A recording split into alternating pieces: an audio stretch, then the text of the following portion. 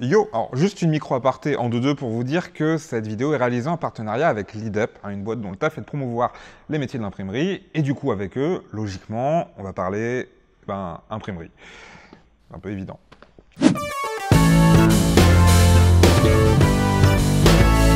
Alors, si je vous dis imprimerie, il y a de fortes chances que vous pensiez à ça, The papermaking industry in France next helps speed up. ou encore à ça. Slide the paper width guide inward until it stops at the edge of the paper. Mais concrètement, parce que ça a l'air de regrouper plein de trucs différents, on pourrait tout bêtement se poser la question, l'imprimerie? Alors si on prend la bête définition de Wikipédia, L'imprimerie est un ensemble de techniques permettant la reproduction en grande quantité, sur support matériel, d'écrits et d'illustrations, cela afin d'en permettre une distribution de masse. bref, pour en revenir à l'imprimerie, je pense que vous avez tous entendu parler de Gutenberg, qui aurait inventé l'imprimerie, mais alors déjà, lui, presse à caractère mobile, et faut savoir que l'imprimerie en soit, c'est plus vieux, beaucoup plus vieux. Genre, beaucoup plus en fait. Alors là, on est à l'atelier musée de l'imprimerie à Malzerbe, dans le Loiret, qui nous a gentiment accueillis pour qu'on puisse avoir de jolies images. Et vu qu'on est dans un musée, on va pouvoir parler de vieux trucs. Et de trucs moins vieux. Alors comme beaucoup de trucs stylés de notre quotidien, l'imprimerie naît en Asie.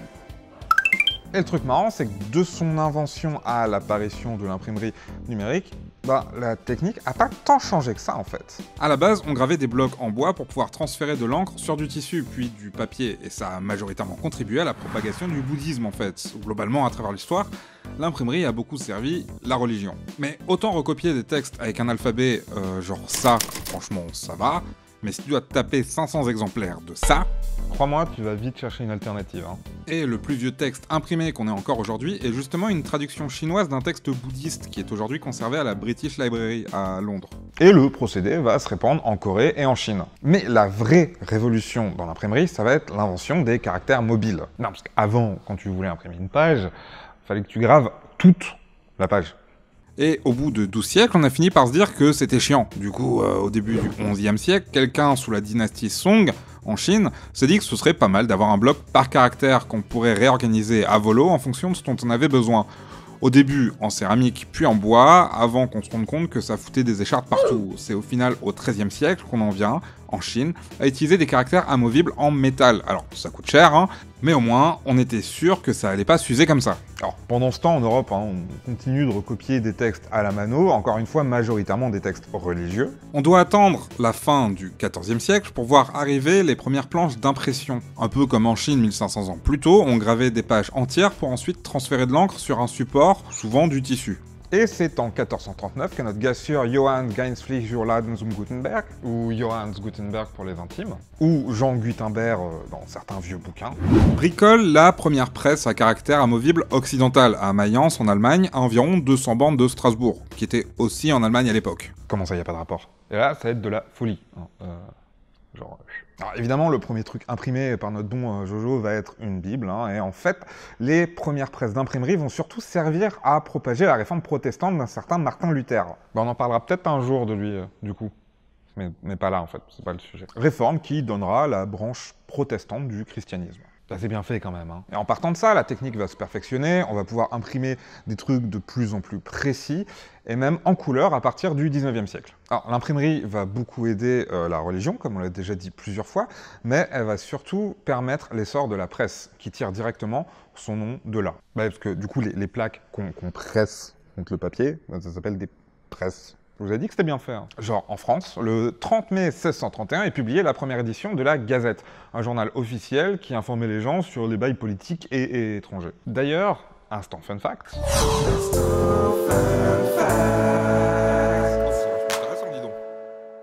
Gazette, ça vient de l'italien cazzetta, qui était le nom d'une pièce de monnaie à Venise au XVIe siècle, et qui était aussi le prix d'un journal officiel de la ville à l'époque. Bah, écrit à la main, lui, par contre, hein, et qui a fini par devenir le terme générique pour un journal random. Je dis que c'était bien pensé ces trucs-là, hein. Alors du coup, l'imprimerie comme on la connaît est née, et va continuer de se développer, de s'industrialiser avec l'apparition de presse industrielle, puis se tout au long du XXe siècle. Avec des techniques de fifou, hein, genre les imprimantes laser, tu sais, les trucs qui te foutent des particules d'encre partout sur les doigts quand tu changes les cartouches, ou tout simplement euh, les imprimantes que t'as chez toi à ta maison, euh, les imprimantes à jet d'encre. Mais pas que. Non, parce que l'imprimerie aujourd'hui, bah en fait, c'est partout.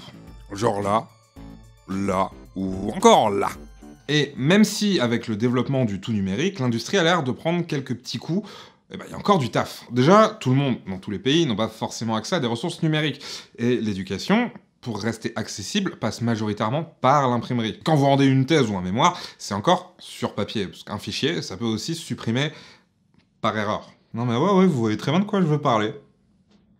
Pas genre. Et pour parler de tout ça, on est allé à l'imprimerie La Ballerie, dans la Nièvre. Et la Nièvre, eh ben c'est là.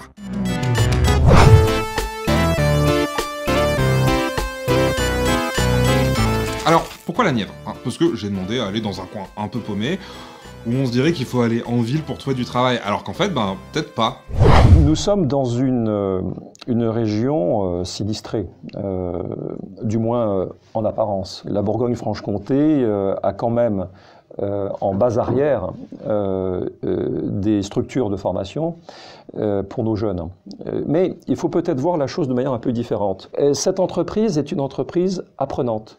Nous avons les trois quarts de nos jeunes en formation, en auto-formation dans l'entreprise, avec des tuteurs que nous avons mis en place avec nos organismes de formation, et notamment notre OPCA.